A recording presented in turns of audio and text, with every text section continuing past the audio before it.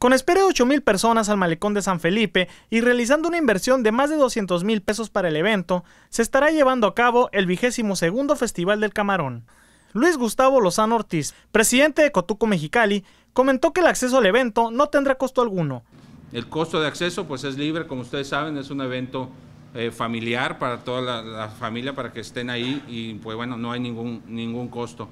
Lo que tiene costo son los platillos eh, eh, menor a 100 pesos más o menos aproximadamente y las, bebidas están eh, de 50 para abajo, ¿no? Se espera que las personas que asistan al evento, en un 60%, serán extranjeros, ya que de los que viven en San Felipe o de los que se acercan por este festival, que según confirman es el segundo más importante del municipio después de la Baja 250. Blanca Bernal, general del Fideicomiso Público para la Protección Turística de Mexicali, afirmó que en el turismo la unión de la cadena de servicios es lo que nos va a llevar al éxito en la realización de los eventos en el municipio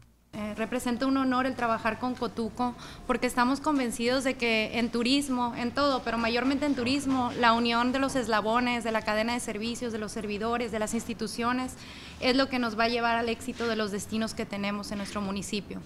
Para nosotros este evento es especialmente importante porque ahora Cotuco lo está haciendo creo aún mejor que en otros años. Eh, están incluyendo tal como vieron ahorita aspectos culturales, aspectos obviamente gastronómicos y aspectos que dan a conocer lo que es San Felipe al mundo, ¿no? El Festival del Camarón en su edición 2014 contará con más de 60 expositores de diferentes sectores, como es el de food trucks, cervezas artesanales, tequileros, vinícolas, instituciones educativas, asociaciones civiles, dependencias gubernamentales, entre otros, con el objetivo de posicionar a San Felipe como destino de turismo gastronómico para atracción de visitantes de diferentes partes de la región a través de la industria culinaria. Daniel Godínez Martínez cuenta la importancia de participar en este tipo de eventos en el puerto.